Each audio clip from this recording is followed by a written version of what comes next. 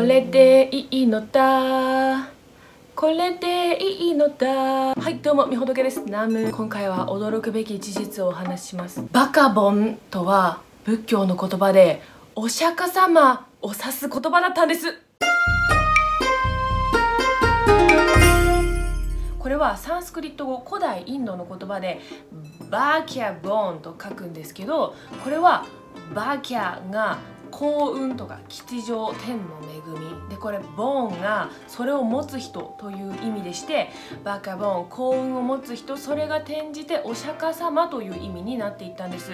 まあお釈迦様を指す言葉ではブッダとかセソンとかいろいろありましてまあこれは例えるなら浅井企画に所属するこのピン芸人みほとけが浅井企画の祖である萩本ティンさん金ちゃんのことを大将と呼ぶ感覚に似てますね。あの自分の師匠のことを名前で呼ばないですよね。先生とか師匠とか呼ぶのと一緒でゴータマシダールタ悟りを開いたお釈迦様のことをブッダとかセソンと呼ぶのと一緒でバカボンと呼んだわけですよ。バケボンバカボンお釈迦様みたいなことなんですよね。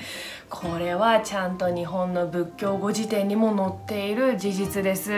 バカボンは英語ではブレストワンと訳されるらしくてつまり称賛されるべき人。尊い人。バカボン。師匠。神様。仏様。ブッダ。そういう感じですね。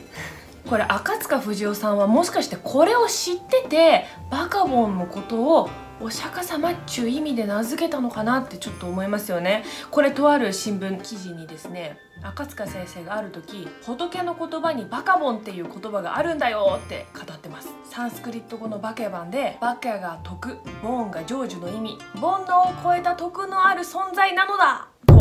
語ってるそうなんですよ。記者の人が「それでバカボンって名付けたんですか?」って聞いたらだからバカボンのパパと同じ顔をしてポイッとそっぽを向いちゃったそうです。真相は分かりません。赤塚さん教えて。まあ他にもねフランスのバカボン動画由来とかバカでボンボンのバカボンとかいろんな説ありますね。ただあのバカボンっていろんなこうストーリー有名なストーリーありますけどもバカボンのパパが生まれた時って歩いて天上天下唯我独尊って言ったというエピソードが漫画に残ってるんですね。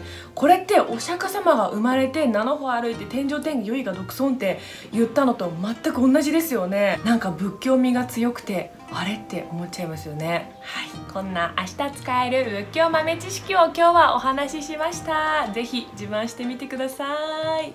それではまたお会いしましょう。ありがとうございました。ナム